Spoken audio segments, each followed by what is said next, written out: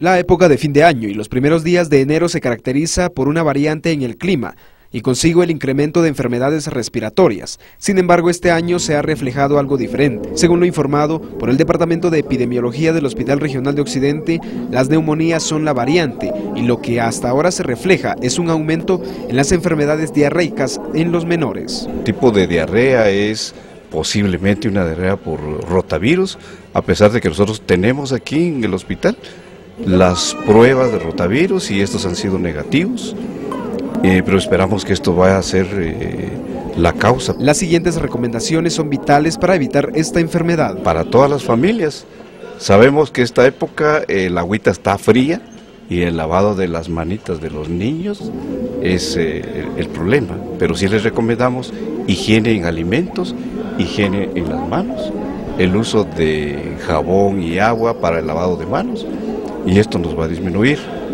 la cantidad de niños que tenemos en emergencia. Estamos preparados para cualquier tipo de brote que haya, existen insumos, estamos listos en el laboratorio de la misma manera. Noticiero Primera Línea, más información, Luis González.